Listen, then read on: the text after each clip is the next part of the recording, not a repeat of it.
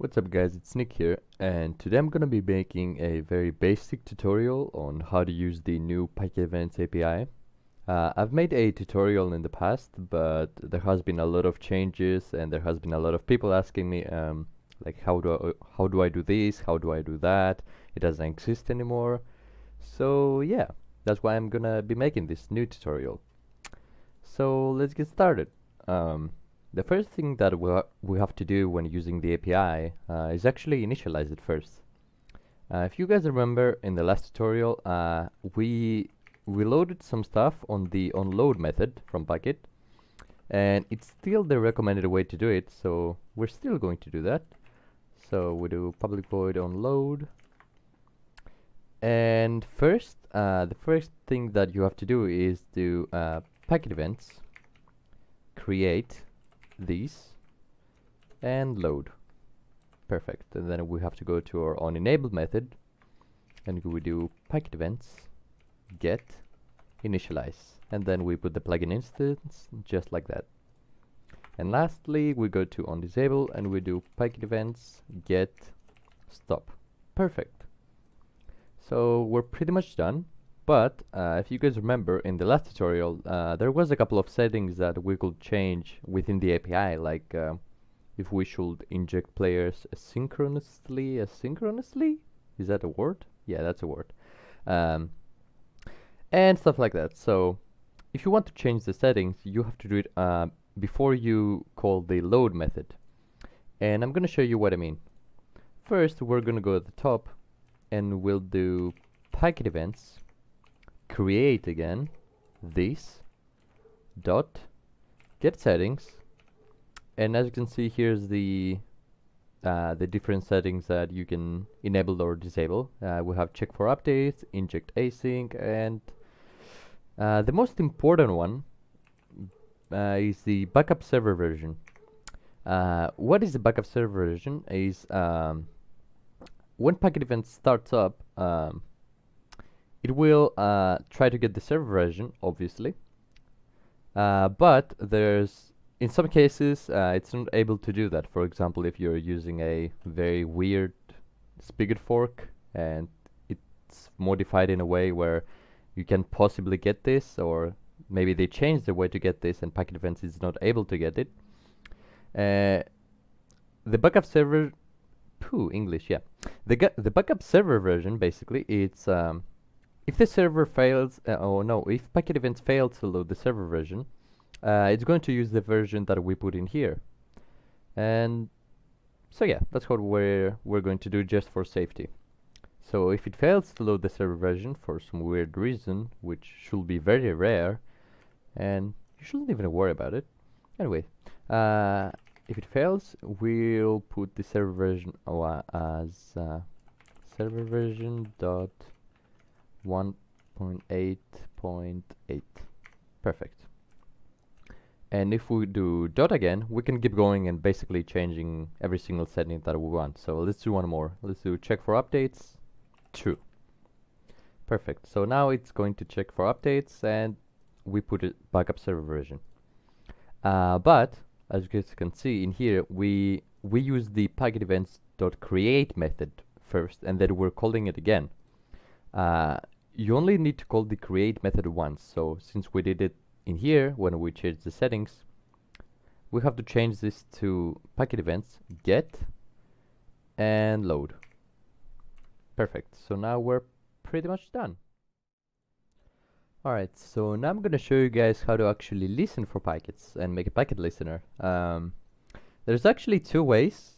I think there's more, but as far as I'm aware, there's two ways to make a packet listener with the way I'm going to show you.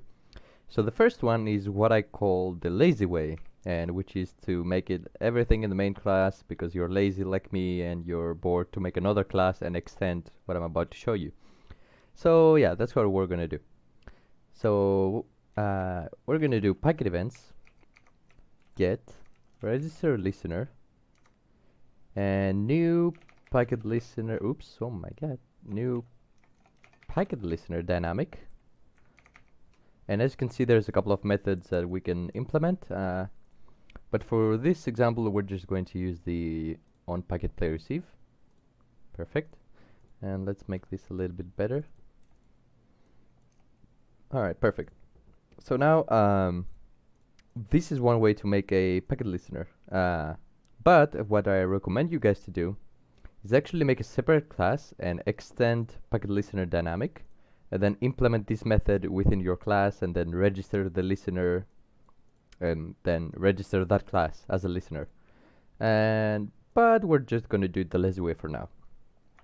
So now that we can listen for packets um, let's try listening for a packet basically. So let's do if e get packet id equals packet type play client uh, let's do arm animation sure. So if it's an arm animation packet uh, we'll broadcast or actually no we'll send a player a message. Uh, send message you have swung. Swung? Is that a word? I think that's a word. If that's not a word just don't make fun of me alright? I tried. Uh, you have swung your arm. Perfect.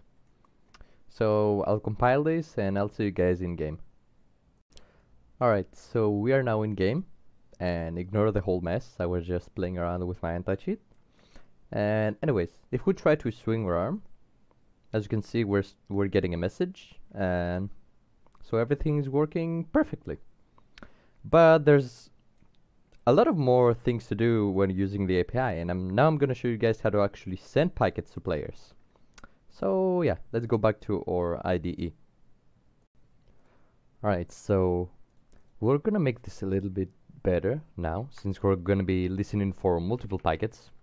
Uh, we'll do player p equals e get player, so we'll make a player variable, and then we'll do switch e get packet ID uh, we're still going to be listening for this packet. We're not going to remove this, so we'll do case break, and I'll send the message just like we did before. Perfect. So let's listen for another packet. Let's do case packet type play client chat.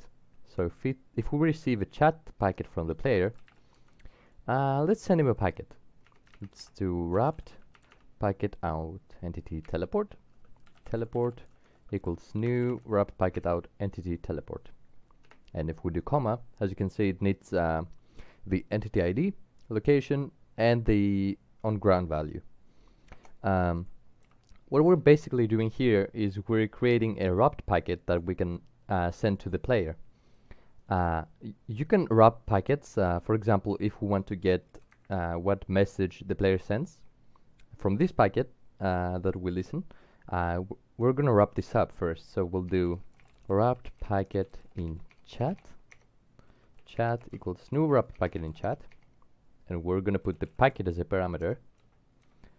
And then if we want to get the message we do chat dot get message and you can the same applies for every single packet. For example if we if we listen for the use entity packet and you want to get the action of the player, like if you if he interacted with the entity, uh, we're just gonna make a wrapped packet and we'll put the packet as a parameter and then we're gonna get what they did.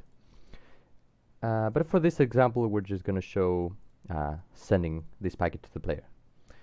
So let's see what it needs again. It needs entity ID, so we'll do p get entity ID the location we'll do p get location add and let's set him like 30 blocks up so we'll do 0 30 0 and comma on ground false. Perfect. And in order to set this send this packet to the player we'll do packet events get get player utils dot and as you can see there's a couple of methods in here that are very useful like um, get ping and stuff like that. Inject but we're just gonna use the send packet method so send packet it needs the player so we'll do p and then the wrapped packet that we created. So we'll do teleport. So I'll compile this and I'll see you guys in game again. Alright so if we try to swing arm as you can see we're still uh, everything that we did before still works. And if we try to send message I think I hit a block. Let's see. Yep it works fuck. Why do I always die in my tutorials? Anyways. So everything's working perfectly. If we try to send a message we're just gonna go to the air and die like idiots. So yeah that's pretty much it. I think I've covered uh, the basic things of listening packets and sending packets. There's obviously there's way more things that you can learn over time, and I I would highly recommend you guys to check the GitHub repository and the documentation because everything's very well documented. And if you guys have any questions, make sure to leave a comment, and I'll help I'll help you as soon as I come online. So anyway, that's it for today's video, and thank you for watching, and I'll see you guys later. Peace. I think I'm falling for you.